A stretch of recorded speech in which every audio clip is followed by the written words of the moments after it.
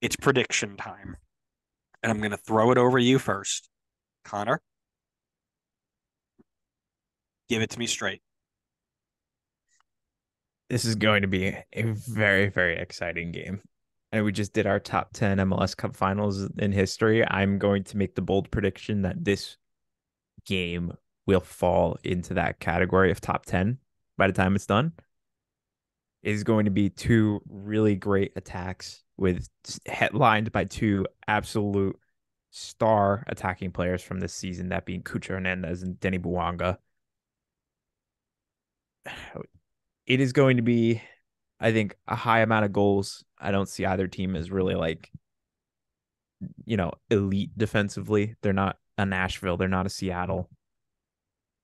And I think that Columbus will win the game. And I think it's going to be I think it's going to come down to the fact that they are the deeper team. I honestly I didn't really have a respect for how deep they are until I watched their game against Cincy and watched them bring on Julian Gressel and Christian Ramirez, who absolutely changed the game for them. Without that depth, they are not in this game and to be able to bring that off the bench. I mean, to your point, you know, there's chance that they start the final as well, but if you're bringing them off the bench, that's fantastic. It's going to change the game. It's going to make things hard for the opponent.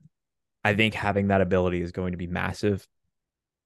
Columbus is susceptible to the counterattack. That's the only thing I will say. And I think LAFC has proven that they can win without having the ball. So would I be surprised if LAFC won? Not in the slightest. It's again a team that most of the, I would say a lot of the team was in the final last season. So they have experience in a championship game. They know how to win without the ball. They have an absolute superstar who can make things happen, which is massive to have in a final. Uh, but I just think that overall, Columbus just feels like the a little bit more well-rounded of a team. So I'm I think it's going to be close. I think it's going to be fun and high scoring, but I think Columbus takes it. I am really excited to watch this game because the crew with the majority of the ball were hurt in transition early and often against FC Cincinnati. LAFC thrive in transition moments, especially with the speed and the power of Denis Bouanga this game to me comes down to very simply first off, is Rudy Camacho healthy? If yeah. Rudy Camacho is not healthy for Columbus, I think it is a massive setback. And I think Vela, I think Bouanga, I think Olivera have their way with them in transition. Secondly, is Julian Gressel starting the game? Because Mo Farsi was really good, but Julian Gressel is a game changer. I think he has to start.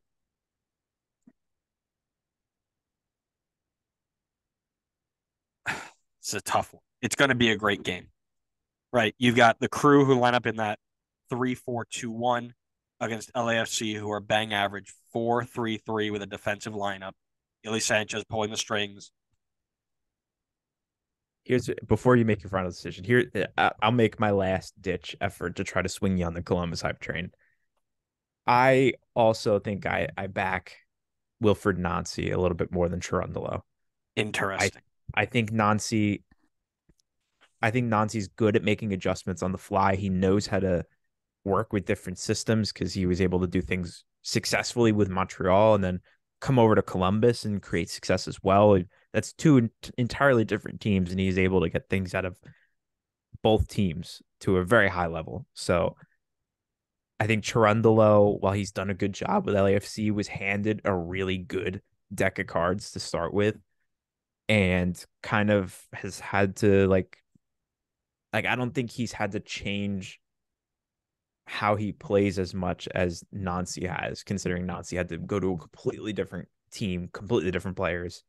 So, and I think we saw that when Nancy brought on Julian Gressel and Christian Ramirez, it was absolutely the right call. It changed the game. He changed the way that the team was playing, and it, and it worked big time. So, I like Wilfried Nancy a little bit more than Cherundolo. So I think that gives them a little bit of a nod towards Columbus. All right, here's how I'm going to do it. LAFC thrive in transition. Bouanga is a nightmare one on one, and he will find open spaces, whether it's Farsi or whether it's Gressel getting up that space on that flank. He will find spaces in transition. The other problem, and I just read back our text, Columbus are too committed to trying and playing out of a press, which LAFC used to beat Houston in the same exact manner. Houston played, uh, oh, excuse me, Houston playing in the 4 2 3 1 shape. They're going to have similar passing lanes to try and play out of. But at the end of the day, LAFC are committed to the press. Columbus are committed to playing out, and they're not perfect at. FCC weren't as clinical as they should have been. I think LAFC is way more comfortable playing without the ball. Nancy loves playing with the ball. LAFC love the counterattack. Denny Bouanga, Diego Rossi, Carlos Vela, Cucho Hernandez, Olivera versus who's the other one? Uh, Matan. It is going to be punches thrown for everybody.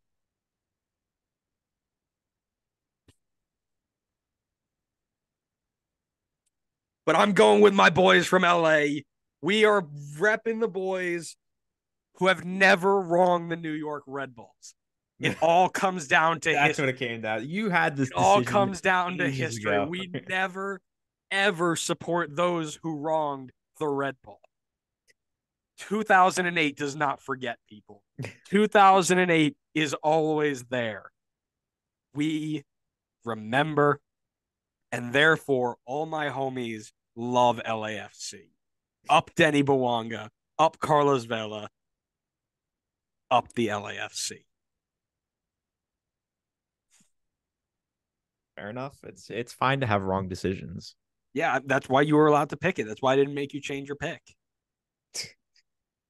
That's fine. I gotta I gotta back Columbus, even though Columbus has knocked us out of the playoffs twice now. I would love to see some former Atlanta guys get a title here. Love to see Gressel and Nagbe go get another title. So gonna back the boys, back Columbus. But I, honestly, I mean, as a neutral, it's just gonna be so much fun to watch, regardless.